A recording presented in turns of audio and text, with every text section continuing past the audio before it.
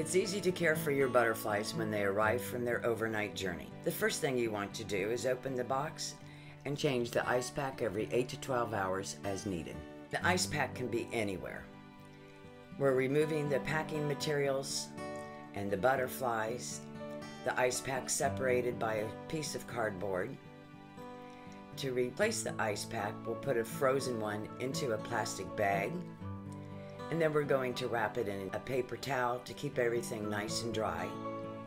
If you don't have an ice pack on hand, you can use a sack of ice in a baggie or frozen vegetables. You just want to prepare it the same way, wrapping it in paper towels to keep everything dry.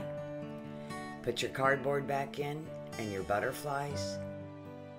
Do not put the butterflies in the refrigerator. Keep your butterflies indoors in air conditioning.